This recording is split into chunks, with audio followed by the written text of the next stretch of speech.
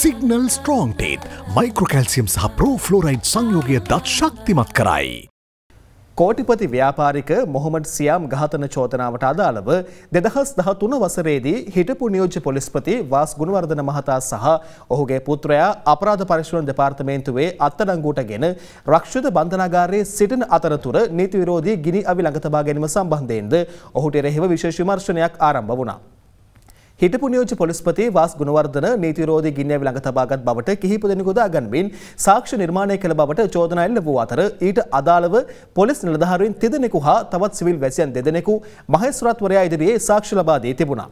එම චෝදනාවට අදාළවයි ශාන්‍ය අබේසේකර මහතා අත්අඩංගුවට පත් වුණේ.